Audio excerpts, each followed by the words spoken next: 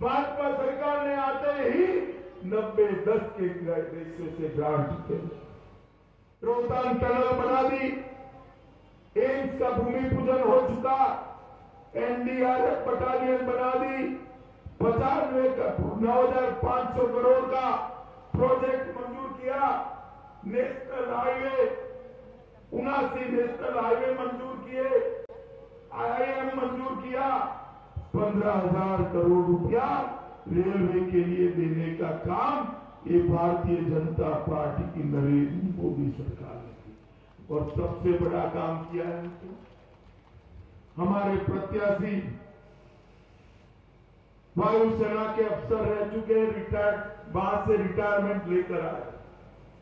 सांडिल्य भी सांडिल्य जी भी सेना से ही आए पचपन पचपन साल से चार पीढ़ियों से ये गांधी नेहरू परिवार सेना के जवानों का वन रैंक, वन पेंशन मंजूर नहीं करता था। उन्होंने वन रैंक, वन पेंशन की नई व्याख्या बना दी।